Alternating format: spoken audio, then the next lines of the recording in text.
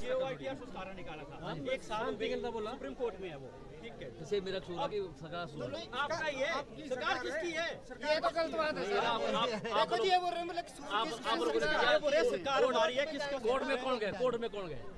Sir बच्चे गए हैं। हाँ तो कौन सी है? आरएनपी रूट कौन बनाता है हैं? आरएनपी रूट कौन अरे बनाता है? नहीं ये नहीं ये आप देखो आप आप लोग गए कोर्ट में वो सुनो।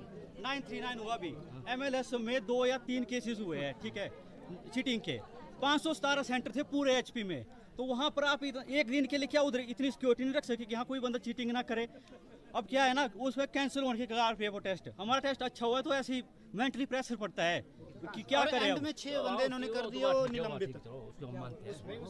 और पीडब्ल्यूडी के बारे में बोल उसके बारे में। आपको 2018 जयराम जी के पास है वो भी डिपार्टमेंट तो मतलब क्या है वो निकालेंगे पोस्ट या इसके बाद निकालने के पहले होता था एक साल में दो बार कमीशन बोर्ड की जाती है आपने मामा को देखा हाँ जी देखा महामारी को सबने देखा सबने देखा ये चिंता करो इसकी ना हम बच गए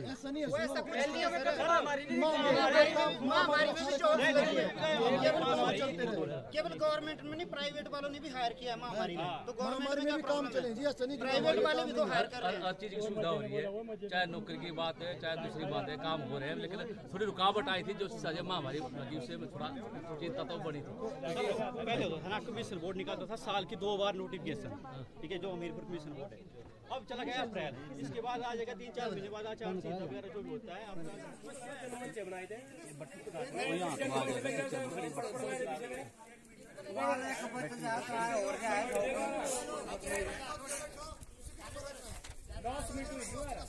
हेलो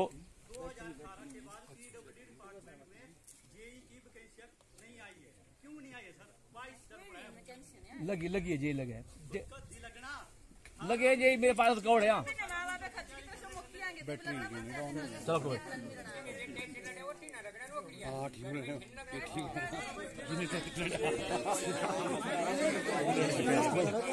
बाकी मेरे आपसे रिक्वेस्ट है।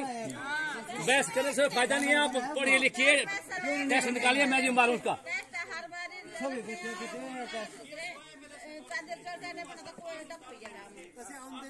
तू मेरे लिए आया होगा मैं